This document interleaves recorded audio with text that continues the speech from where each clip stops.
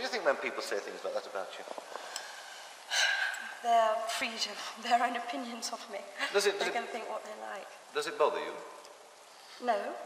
I mean, uh, Does it flatter you? no. Does it annoy you? No. It just doesn't move you at all. Not in the slightest, in any direction whatsoever.